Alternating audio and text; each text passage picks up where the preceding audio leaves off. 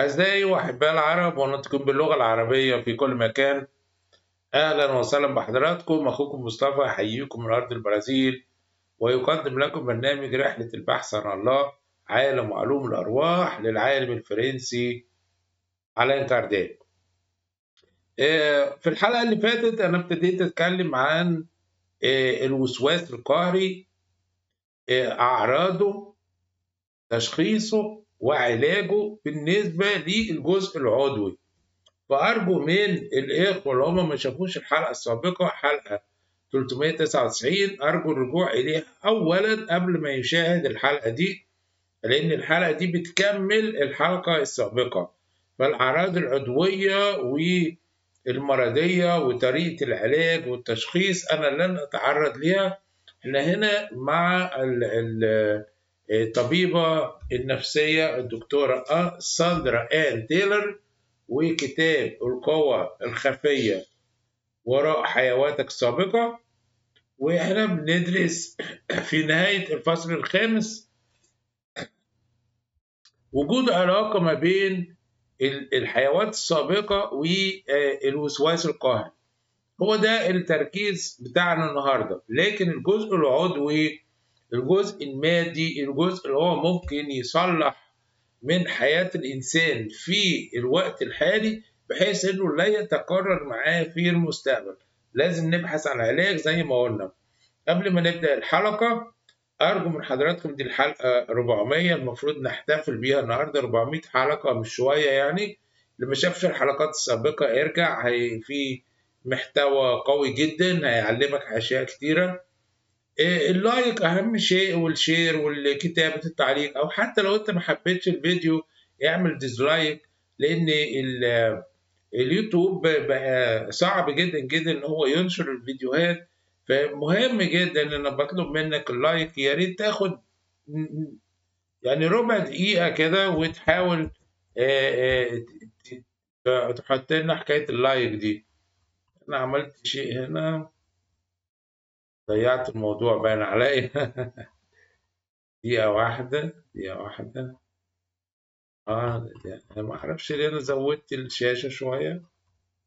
أنا آسف بنعمل ده على الهوا بنجهز الشاشة بتاعتي عشان نعمل لها share screen مع حضراتكم okay؟ آه لحظة واحدة. لسه. okay. Awesome. غريبة. دلوقتي وصلت أنا خلاص. ما أعرفش أنا ليه أنا زودت حجم الشاشة مجرد زودت حجم الشاشة ابتدى يديلي صفحات مختلفة. فالنهاردة هنتكلم مع هي متخصصة الدكتورة ساندرا أن تايلر. توفت هي لكن سابت تراث جميل جدا جدا من أبحاثها. في العلوم دي والأبحاث دي بتؤكد لنا خلود الروح. يعني الشخص اللي غير متأكد من خلود الروح الشخص اللي النهارده بيعترف فقط بالعدمية إن إحنا بنموت وانتهينا لا يا جميل مفيش نموت وانتهينا. والأبحاث دي وإنت ممكن شخصيا تعمل عملية استرجاع حيواتك السابقة وتقدر تشوف نفسك إزاي مت في الحياة السابقه كنت عايش إيه؟ كان اسمك إيه؟ مين اللي كانوا معاك؟ إيه؟ الفترة اللي أنت قعدتها في عالم الأرواح كنت ساكن فين؟ كل ده بيظهر من الكتب اللي إحنا بنعرضها دي عشان نقدر نفهم. فالنهاردة يلا بينا ندخل في الموضوع ونشوف موضوع الايه الوسواس القهري المخاوف الرهاب الرعب اللي بيحصل والتكرار اللي بيحصل في عملية الطقوس. الناس اللي هي عندها موضوع الايه الوسواس القهري. النهارده فقط هنركز على الحيوانات السابقة. هنا بقى لما انت تصل إلى الدكتور الطبيب اللي هو البسيكياترا اللي هو الأمراض العصبية ويكتب لك أدوية. أوكي. رقم اتنين طبيب نفسي. الطبيب النفسي بيحاول يساعدك خلال هذه الحياة لكن أحيانا يكون أصل المشكلة في حياة سابقة. خد بالك وهو ده موضوعنا النهارده فيلا بينا. المخاوف والرهاب والهواجس. رأيت العديد من حالات الرهاب الناتجة من الصدمات خلال عملي كمستشارة في الممارسة النفسية. وهي مخاوف جدية ومو وموهنة نشأت في تجربة شخصية معينة. شاهد أحد مرضاي وفاة جدته بسبب نوبة قلبية وأصيب لاحقا بحالة وسواس مرضي شديد وقلق هوسي بشأن قلبه. يمكننا في هذه الحالة وفي غيرها تتبع العلاقة بين تجارب الطفولة وقلق الكبار. فهنا بنشوف شخص مجرد شاف جدته جالها نوبة قلبية خلاص بيتخيل نفسه الوقت كله عنده نوبة قلبية. يمكن هو توفى من من نوبة قلبية في الماضي لكن بيجيله القلق الشديد ده بيقدرش يسيطر على نفسه بيبقى عايش في الهوس ده 24 ساعة. مع ذلك هناك أمثلة لا حصر لها حول الرهاب الذي يبدو على علاقة ضئيلة أو معدومة بزماننا الحالي. من المفيد الرجوع إلى أبعد من ذلك عندما يتضح هذا والحقيقة أن ثمة عدد ثمة عدد مذهل من المخاوف والرهاب في الواقع متجذرة. في تجارب الحيوانات المادية الإنسان بيموت وهو عنده المشكلة دي ما بيحلهاش ويعود بها قد يؤدي ولا سيما عندما يتعلق الأمر بالموت أو الإصابة الخطيرة. قد يؤدي الموت حرقا أو غرقا أو سقوطا إلى حالات رهاب محددة في هذه الحياة. شوف شوف الدكتورة هنا بتركز على إيه؟ علاقة المرض بتحاول الأول إن هي تجد جذور المرض اللي هو الوسواس القهري والإرهاب والخوف الشديد ده الفوبيا بتحاول تجد جذوره في الحياة الحالية. لكن أحيانا لازم تعود إلى أبعد من ذلك وتدخل بقى في حيوانات سابقة وتشوف الجذور بتاع الايه الأساس يعني الجذور وتبتدي تكتشفها وتعالج المريض على أساسها. ده إيه الموضوع؟ مثال بقى لدي مريضة قتلت غرقا في تقمص سابق. قتلت غرقا في تقمص سابق. وهي لا تعاني حاليا من الربو ومشاكل التنفس الأخرى. فحسب مش مجرد ربو ومشاكل تنفس بل لديها خوف رهيب من الماء. ساءت حالتها لدرجة منعتها من الاستحمام بشكل مريح. خايفة حتى تاخد دش تخيل بقى لما تجيب لواحد بانيو تخليه يقعد في البانيو بيشوف لما بتجيبه جنب حمام سباحة بتلاقيها بتلاقي الشخص هيتجنن مش قادر يشوف مية خوف رعب ربو. حالة تنفس كانت تصاب بنبوة ربو بمجرد الجلوس في حوض استحمام مليء ببضعة سنتيمترات من الماء. ما يضطرها للمغادرة شوف المشكلة. تنتج تنتج حالة اضطراب الوسواس القهري القلق والخوف من فقدان السيطرة. يحاول الأشخاص يحاول الأشخاص هذه الحالة تخفيف هذا الخوف بطرق يائسة لكنها احتيالية عن طريق غسل الأيدي أو العد أو اللجوء لسلوكيات متكررة أخرى وإحنا شرحنا دي في الحلقة اللي فاتت. أتتني مريضة محووسة بالنظافة لم تتمكن من العمل أو حتى من الخروج من المنزل كثيرا لأنها كانت تنظف باستمرار. لدرجة امتنعت تروح العمل بتنظف البيت تنظف البيت تنظف البيت كانت تغسل الصحون وتعيد غسلها وتكنس السجادة النظيفة وتمسح الغبار مرارا وتكرارا وجدنا عند عند رجوعنا إلى الماضي شو بقى؟ طب إيه السبب ده؟ إنها كانت صبيا صغيرا مسخرا للعمل فين؟ مفترشا أرض المخزن كان بينام في عرض المخزن كان عمله تنظيف معروضات صالة عرض كبيرة لصائغ فضة فاخرة كان المشرف عليه يتفقد كل غرض باحثا عن الغبار وبصمات الأصابع كان التقصير يعاقب بالضرب والحرمان من الطعام وحسم الأجازات. يعني بيقلل الأجازات.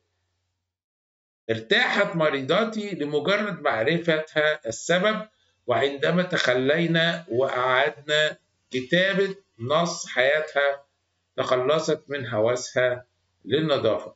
فشوف شوف الحالة دي الإنسانة دي كانت مريضة جدا مش قادرة تخرج من البيت وبتشتغل تقريبا 24 ساعة ما بتكاد لا تنام. تنظف وتعيد التنظيف وتنظف وتعيد التنظيف تشيل الغبار مفيش غبار وتنظف السجادة. عايشة في المعاناة الشديدة دي. لما رجعت بيها للحياة الحالية ما لقيتش في مشاكل. لما رجعت للحياة السابقة شافت إن هي كان صبي بيشتغل عند سائق فضة بيشتغل في معرض كبير وكان دايما ينظف والراجل ورا منه بالضرب حرمانه من الطعام لو رأى ذرة غبار لو رأى بصمة أصابع أي شيء وطبعا كان بينام على الأرض في المخزن فحالة طبعا صعبة جدا جدا كان بيعاقب كتير جدا ولذلك لما جه تجسد في الحياة دي جاب جابت معاها الخبرة الشنيعة دي وابتدت تنظف تنظف تنظف. بشوف ممكن الرجوع للماضي للحيوانات السابقة ممكن يعالجك من مرض خطير جدا. ملوش دعوة بقى ده بالأمراض العضوية. يعني شوف زي ما بقول لك الحلقة اللي فاتت إحنا اتكلمنا عن المرض العضوي عن مشاكل في المخ عن مشاكل في الجينات مشاكل في في الوراثة. كل دي ممكن تتحل عن طريق الايه طبيب الأمراض العصبية وعن طريق الايه المدرب النفسي. لكن هنا كان مهم جدا ترجع للحياة السابقة والا ما كانتش شافت. كل وبالادويه وبكل شيء. لن تشفى أوكي؟ ارتاحت مريضاتي لمجرد معرفتها السبب. مجرد أنت عرفت السبب ارتاح. عندما تخلينا وأعدنا كتابة نص حياتها تخلصت من هوسها بالنظام يلا بينا اكتبي بقى إيه اللي انت عايزاه. تخلصي من دي احرقيه. يعني ممكن تخليها مثلا تكتب كل شيء في ورقة وتحرق الورقة دي. خد بالك وتبتدي تكتبي من جديد بقى. سيب البيت يوم بدون تنظيف سيبيه 10 أيام روحي في مكان تاني وهكذا لحد ما تتغلب على الهوس ده. أوكي؟ نكمل. هنا بقى الدكتورة بتسأل بقى لنا كلنا يعني. هل لديك أنماط سلوكية مدمرة؟ أي مخاوف أو هواجس فاعلة في حياتك اليومية؟ ماذا تخبرك برأيك عن حيوات سابقة ممكنة؟ راقب نفسك بقى هل الحياة حاجة أنت خايف من حاجة مرعوب من حاجة إيه عندك مشاكل في ترتيب أشياء معينة لأن ممكن تدي لك خبر عن حياتك الماضية إحنا بنجيب الأخبار دي معانا ما هي دروس هذه المسائل وكيف تستطيع المباشرة في عملية الشفاء الآن. الهدف الهدف من عملية إنك تشفى بطريقة طبية أو تشفى بطريقة عن طريق استرجاع الحوادث الماضية إن أنت تستغل فرصة وجودك على كوكب الأرض عشان روحك تشفى من المرض ده. ففي المرات القادمة مش هتأتي بالوسواس القهري لازم تحاول تتغلب عليه الآن والحلقتين دول مهمين جدا عشان تقدر تفهم إيه الفرق يعني. اسأل التالي وأنت في جلسة تأمل. جلسة التأمل مع نفسك يعني. ماذا تريدني روحي أن أفعل؟ والجواب عادة في هذه الحالات يكون أن تتخلى تتخلى عن المشاكل دي وتثق بنفسها.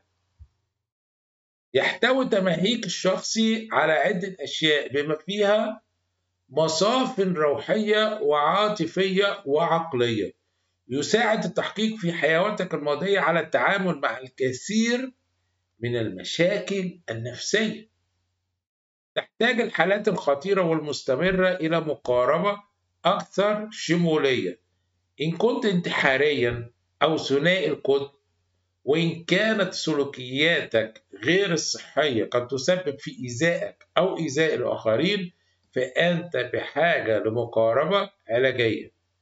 محتاج محتاج علاج محتاج علاج بتفكر في انتحار باستمرار أو عندك ثنائي القطبيه أو أو سلوك ممكن تسبب في إيذاء نفسك أو إيذاء الآخرين محتاج علاج. ما تستناش أكتر من كده لما تحصل المشاكل. لما تشوف واحد قدامك عمال يفكر في انتحار عمال يفكر في ايذاء نفسه ايذاء الآخرين ثنائي القطب ما تسيبوش. في علاج في أطباء نفسيين. اسمح لنفسك بتقبل العلاج التقليدي والعلاج البديل أيضا. لا تنسى أن كل مشكلة نفسية أو عاطفية تأتي من حياة ماضية. مش كل المشاكل بتأتي من حياة سابقة ممكن تكون حاليا بتنشئها وتاخدها لحياتك القادمة. شوف المشاكل بقى. بعض المخاوف طبيعية تماما. كالخوف من التكلم أمام الجمهور. في ناس بتخاف تتكلم أمام الجمهور مثلا. والذي يعتبر الرهاب الأكثر شيوعا. تعود بعض الأمور إلى التاريخين الثقافي والبيئي. إذا كان ما تتعامل معه يعطل أداء أدائك أو يقلق راحتك فعليك التعامل معه واجه واجه المشكلة وحلها. دع نفسك تكتشف العناصر المعنية ولكن تذكر أن روحك تقودك إلى مسار الإدراك الذاتي والإتقان الذاتي.